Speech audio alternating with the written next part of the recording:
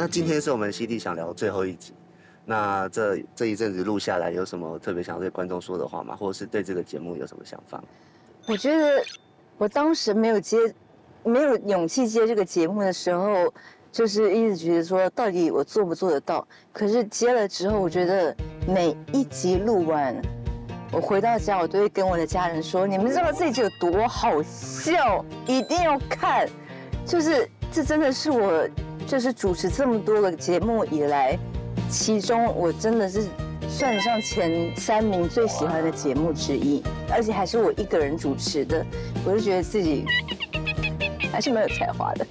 哎，所以我邀你的时候，你是觉得还蛮不想来的，是不是？你邀的时候我就知道逃不掉啊，就是你开口我很少能够说不要，我连我连说想一想的机会都没有，因为你你记得你怎么邀我的吗？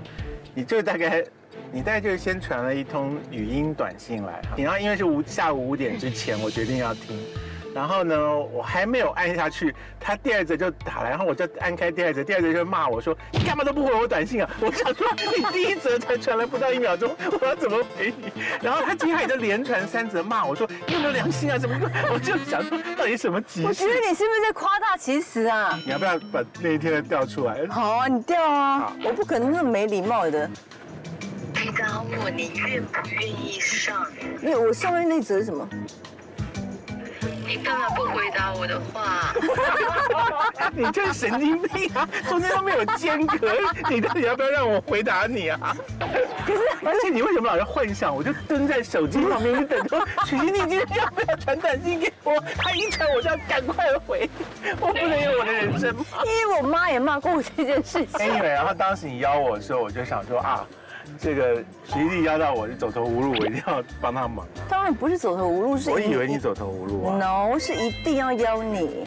真的假的？因为我就想说，你一定会想说，我的节目一定会马上邀你。我没有在想这件事。